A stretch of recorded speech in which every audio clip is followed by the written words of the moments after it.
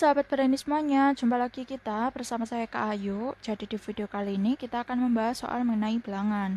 Di sini diketahui soal A pangkat 3 dibagi A pangkat 3. Yang ditanya adalah hitunglah soal tersebut. Oke, di sini kita punya soal pembagian dua bilangan berpangkat dengan bilangan pokok yang sama.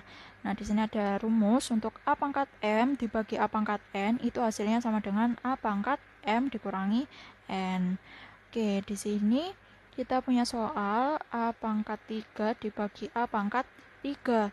Nah, kemudian di sini kita lihat modelnya itu sama seperti pada model rumus di atas ini. Jadi A-nya itu adalah A, M-nya itu adalah 3, dan N-nya adalah 3. Nah, jadi kita bisa rubah soal ini menjadi A pangkat 3 dikurangi 3. Jadi A pangkat 0. Nah, semua bilangan jika pangkat 0 hasilnya adalah 1.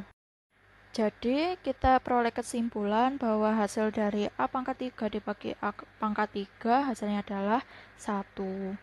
Gimana? Sudah paham? Sampai jumpa di video pembahasan selanjutnya.